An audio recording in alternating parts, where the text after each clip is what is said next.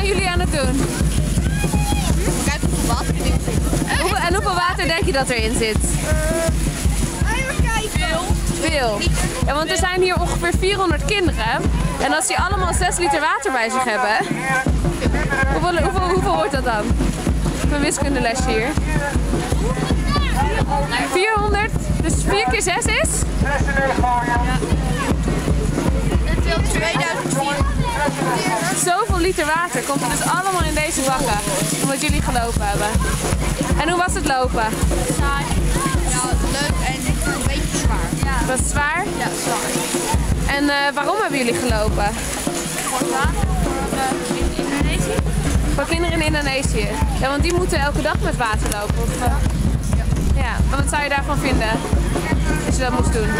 Ik, uh, voor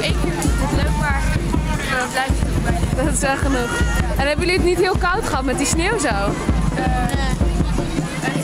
Nee, je bent goed aangekleed, dus eh, goed zo. Nou, goed, goed gedaan mannen.